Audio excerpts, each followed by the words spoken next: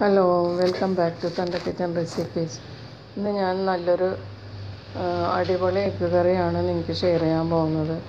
വളരെ കുറച്ച് ചേരുവകളെ വേണ്ടു. പെട്ടെന്ന് ഉണ്ടാക്കിയെടുക്കുകയും ചെയ്യാം. അപ്പോൾ ഇത് എങ്ങനെയാണ് ഉണ്ടാക്കുന്നതെന്ന് നമുക്ക് നോക്കാം. ഞാനിവിടെ ഒരു പാൻ വെച്ച് എണ്ണ ഇട്ട് എണ്ണ ചൂടാക്കിയിട്ടുണ്ട്.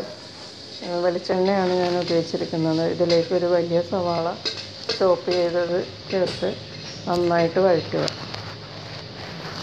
സവാള ഒന്ന് നന്നായിട്ട് വഴരണം. നേരെ തീയിൽ വേണം ഇത് കുക്ക് ചെയ്യാനായിട്ട്. സവാളയുടെ നിറം മാറി വരുമ്പോഴാണ് നമ്മൾ ബാക്കിയുള്ള ചേരുവകൾ ചേർക്കുന്നത്. അതുവരെ നമുക്കിങ്ങനെ വഴറ്റി കൊടുക്കാം. സവാള ഏകദേശം നിറം മാറി വരുന്നുണ്ട്. ഇപ്പോൾ ഇനി നമുക്കിതിലേക്ക് ഒരു ടീസ്പൂൺ ഗാർലിക് ചതച്ചത് ചേർത്ത് കൊടുക്കാം. നന്നായി സവാളയുമായിട്ട് മിക്സ് ചെയ്യുക.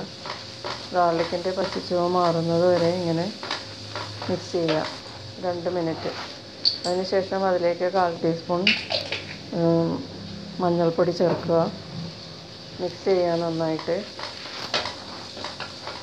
ഇനി ഇതിലേക്ക് രണ്ട് ടീസ്പൂൺ കാശ്മീരി ചില്ലി പൗഡർ ചേർക്കുക. നിങ്ങൾക്ക് വേണമെങ്കിൽ രണ്ട് ഹാഫായിട്ട് എടുക്കാം. കാശ്മീരി ചില്ലി പൗഡർ ഒരു ടീസ്പൂൺ ഒരു ടീസ്പൂൺ സാധാരണ മുളക് പൊടി യൂസ് ചെയ്യാം. എരിവ് കൂടുതൽ വേണ്ടവർക്ക് അങ്ങനെ ചെയ്യാം. ഇത് നന്നായിട്ട് ഇതിന്റെ പച്ചച്ചുവ മാറുന്നത് വരെ വഴറ്റി കൊടുക്കുക. ഇതിലേക്ക് വേണ്ട ആവശ്യത്തിനുള്ള ഉപ്പ് ചേർക്കുക. ചെറു പിന്നെ അതിലേക്ക് വേപ്പില ചേർക്കുക. വേപ്പിലയും എല്ലാം നന്നായിട്ട് കുക്കാവുന്നത് വരെ ഒന്ന് വഴറ്റി കൊടുക്കുക. അതിനുശേഷം ഇതിലേക്ക് നമുക്ക് ഒരു വലിയ തക്കാളി ഞാനിവിടെ പേസ്റ്റാക്കി വെച്ചിട്ടുണ്ട്. അത് ചേർക്കുക. നന്നായി മിക്സ് ചെയ്യുക. പൊടികളും മസാലയും ഈ തക്കാളിയും കൂടി നന്നായിട്ട് മിക്സ് ആവണം. തക്കാളിയിൽ വെള്ളമൊക്കെ വറ്റുന്നത് വരെ നമുക്ക് വെയിറ്റ് ചെയ്യാം.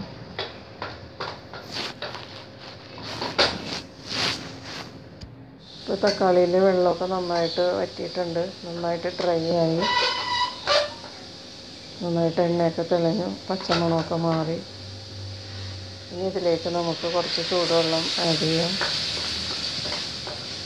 ഇനി ഈ ഗ്രേവിക്ക് വേണ്ട വെള്ളമാണ് എന്റെ അതിന് ആഡ് ചെയ്യേണ്ടത്. കുറച്ച് കുറച്ചായിട്ട് ആഡ് ചൂടുവെള്ളം ആഡ് ചേർത്ത് കൊടുക്കുക. നിങ്ങൾക്ക് എന്തോരം ഗ്രേവി വേണോ അത്രയും വെള്ളം ആഡ് ചെയ്യേണ്ടി വരും. കുറച്ച് കുറച്ചായിട്ട് ചൂടുവെള്ളം ആഡ് ചെയ്യാം നന്നായിട്ട് മിക്സ് ചെയ്യാം ആവശ്യത്തിന് ലൂസ് ആവുമ്പോൾ ഇത് മൂടി വെച്ച് ഒരു ഫൈവ് മിനിറ്റ്സ് കുക്ക് ചെയ്യേണ്ടി വരും. ഇവിടെ കുറച്ചുകൂടി വെള്ളത്തിന്റെ ആവശ്യമുണ്ട്. അതും കൂടി ഒഴിച്ചിട്ട് നമുക്ക് മൂടി വെച്ച് ഒരു ഫൈവ് മിനിറ്റ്സ് കുക്ക് ചെയ്യാം.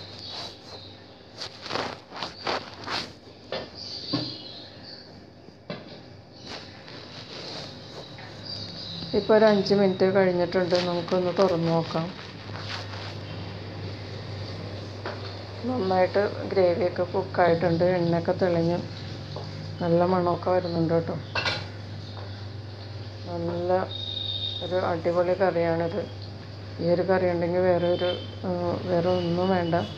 ചോറൂട്ടാനൊക്കെ നല്ലതാണ്. ഞാനിവിടെ രണ്ട് മുട്ടയാണ് ബോയിൽ ചെയ്ത് രണ്ടാക്കി വെച്ചിട്ടുണ്ട്. അതിൽ ആ കഷ്ണങ്ങൾ നമുക്ക് ചേർത്ത് കൊടുക്കാം.